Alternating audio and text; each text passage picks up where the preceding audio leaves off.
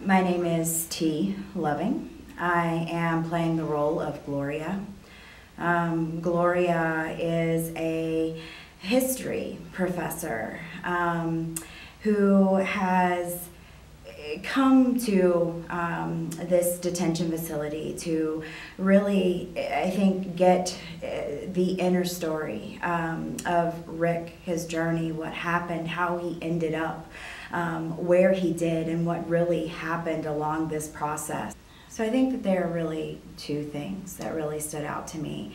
Um, one, just very initially on the top, um, from the outset, is really how close to a reality this could be, maybe even potentially already is. The president declares martial law, restricts the press, suspends civil liberties, and the roundup begins. Millions of people.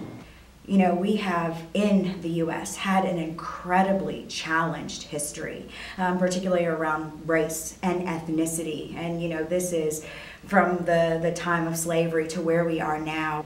You don't look like I thought. How is that?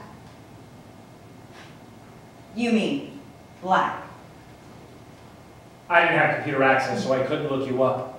I don't know what they think I'm going to do with a computer. Uh, you know, reach out to my huge fan base and decide. Is my race a problem for you? I never know which word to use. Black? African American? I like black. Is it a problem for you, Rick? The payoff. What is the payoff? I think for me, it has really been um, on a daily basis, really having to sit with this show in its entirety. It really has just, you know, on a daily basis, I really just reflect.